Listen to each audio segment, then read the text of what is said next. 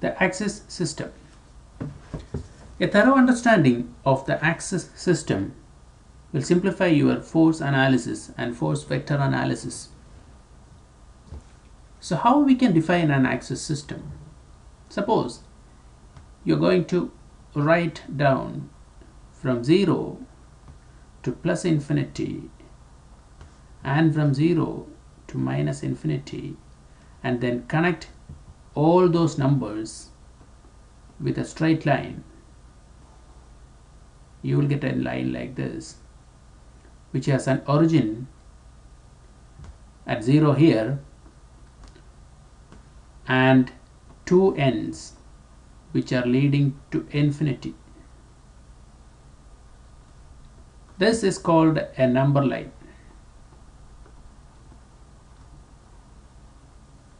And otherwise a one dimensional axis. You have only one dimension here. Any point on this line you can define by a single number. If you say 10 you have a point 10 here somewhere here. If you say 1000 you have a point 1000 somewhere here. You say minus 23 you have it somewhere here any point on this line you can define with a number.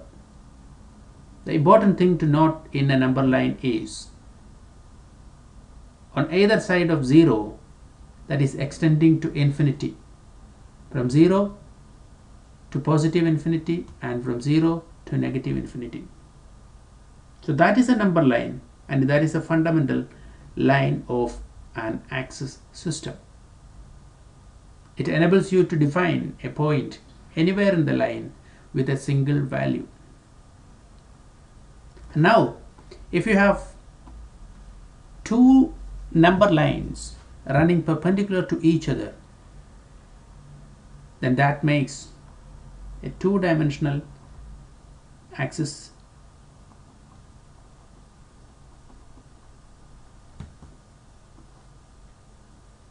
for convenience let's call it x-axis and let's call it y-axis again as in the previous slide it originates from 0 extends to positive infinity and negative infinity and positive infinity and negative infinity.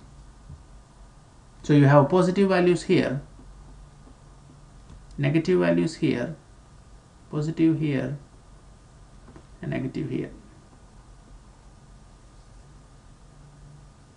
and that requires you to have two values that is the x value and the y value to define a point in the axis system. Say minus 2 10 which is x and y. So minus 2 here and 10 here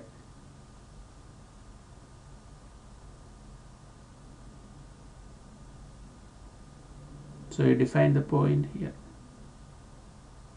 Similarly you can define any point in the space with two numbers. Remember these lines extends to infinity.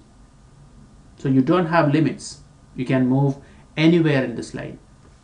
Similarly if you have three axes or three number lines which are perpendicular to each other then that makes that creates a three-dimensional axis system where you need x, y and z coordinates to define a point. So this is your x-axis, y-axis and your z-axis. So again from origin these axis extends to infinity so you can literally define any point if you have the three coordinates. So this will enable you to define a point in the space. And because these are extending, these axes are extending to infinity, you can define a point anywhere in the space. So if you have a cube like this with x, y and z axis you can define any point in the cube with these three coordinate values. And you can move this plane to infinity. You can also move this plane to infinity. Remember this line extends to infinity. And that is a case with all the six sides of this cube. You can move these planes to infinity that will give you the freedom to define any point in the space with an infinite number of choices. So that defines an axis system and how we are going to use the axis system in engineering mechanics.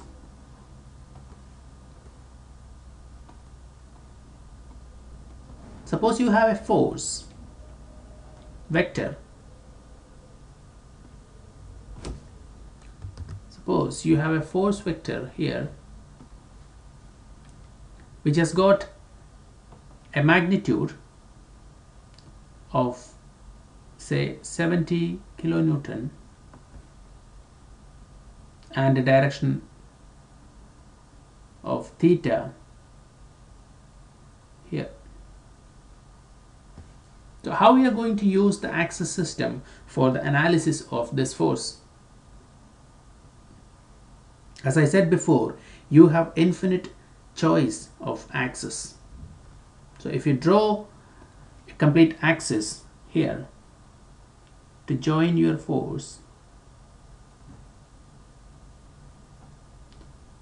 and you draw your next axis to complete the force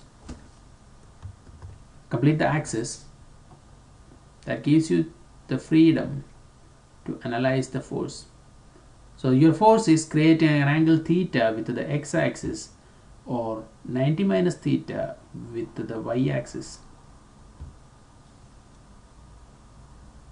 So now you can analyze your force which we will study in the next module.